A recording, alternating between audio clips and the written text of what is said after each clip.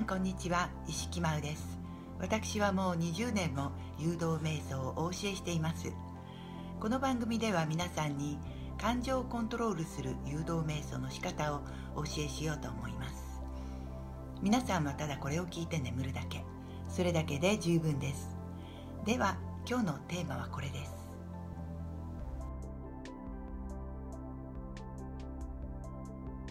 今日のテーマは恩をあだで返す自分を滅ぼすというテーマです。ちょっと分かりにくいテーマかもしれませんね。皆さんは最近韓国のニュースを聞いて腹を立てたりしませんか？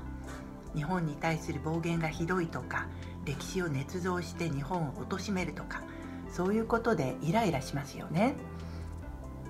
同じように日本が昔統治した台湾は日本にとても感謝してくれています。それは日本が台湾という国を良くしてきたからですよね。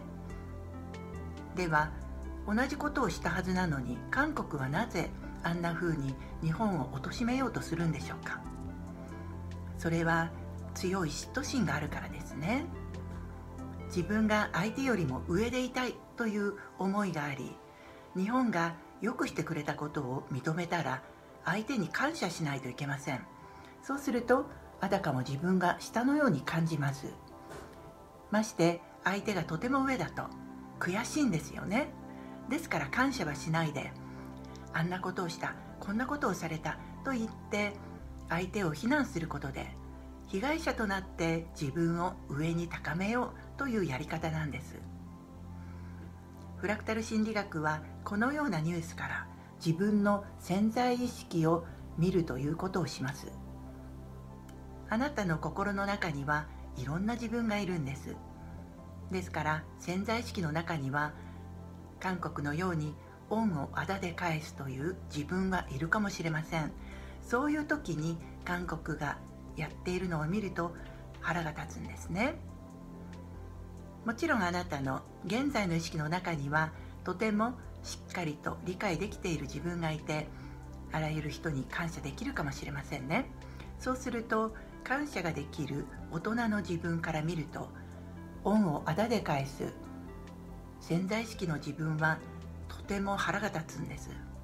でその潜在意識の自分には気がつかないので外側の同じことをしている韓国に対して腹が立つということなんですね。ですからあなたがこの心の中の恩をあだで返す自分をちゃんと滅ぼしておかないと。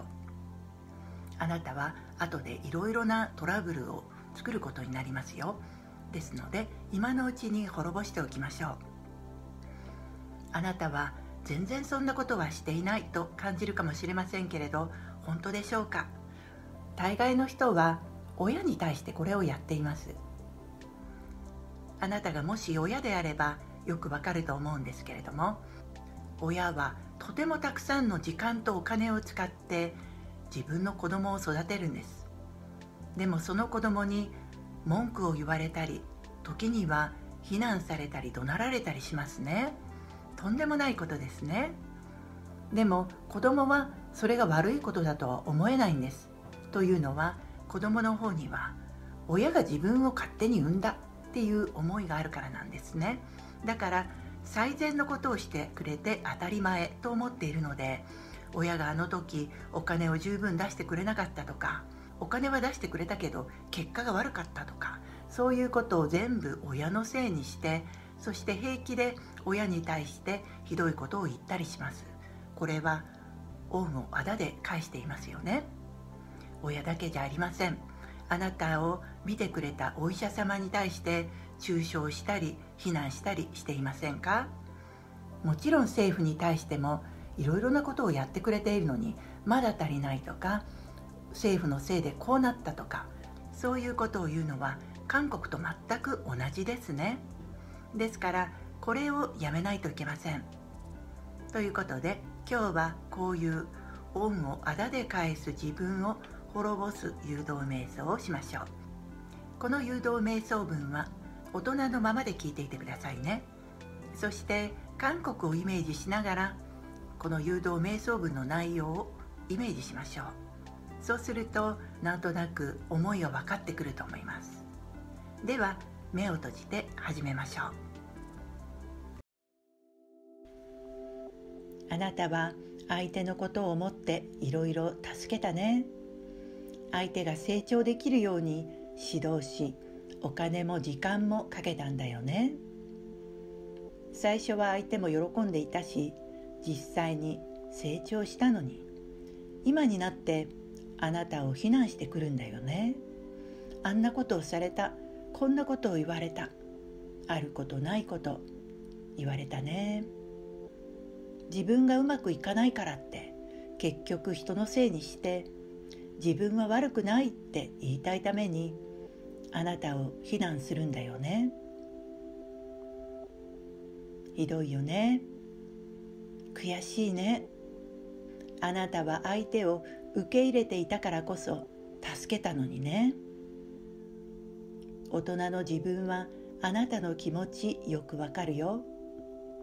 自分がお金も時間もかけた人に逆に自分のせいで悪くなったと言われるのは本当に情けないね。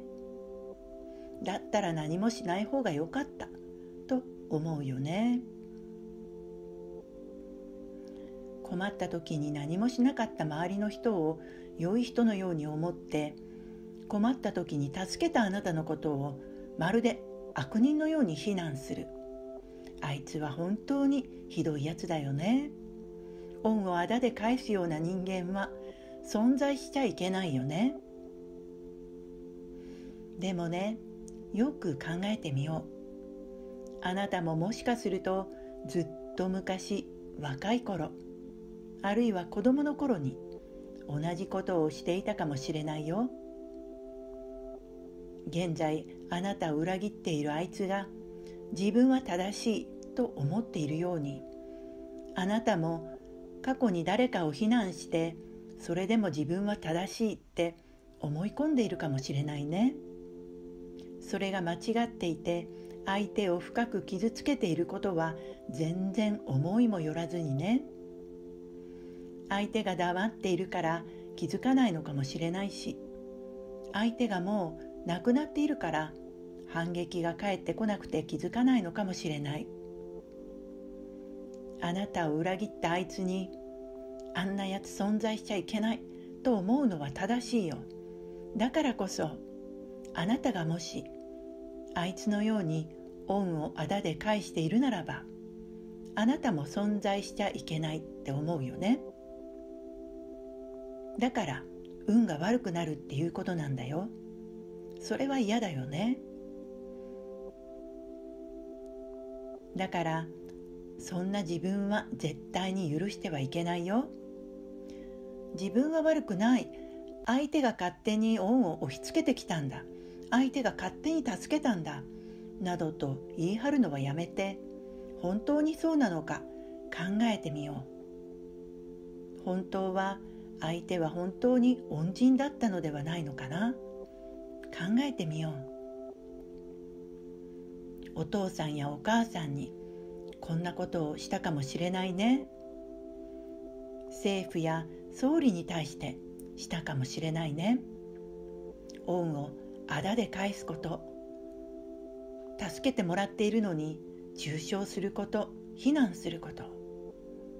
これを当たり前のようにやっていなかったかな。学校の先生や病気を治してくれたお医者さんにも文句を言ったかもしれないね。戦争で日本のために戦って死んだご先祖様に対しても恩をあだで返すことをしたかもしれないね。現在あなたを裏切ったあいつが自分が悪いと全くわからないようにあなた自身も自分がやっていることが分かっていないのかもしれないよ。だからまず謝ることから始めよう。恩を受けたのに非難してごめんなさい。恩を受けたのに見下してごめんなさい。恩を受けたのに傷つけてごめんなさい。そんな未熟な自分なのに今までお金と時間をかけてくれてありがとう。犠牲を払ってまで自分に奉仕してくれてありがとう。それなのにそれを理解せず感謝もせずそれどころか非難し中傷し見下し本当に申し訳ございませんでした。これからは恩をお返しします。恩をあだで返す人が一人もいなくなるように良い世界を作ります。本当に申し訳ございませんでした。あなたに深く感謝いたします。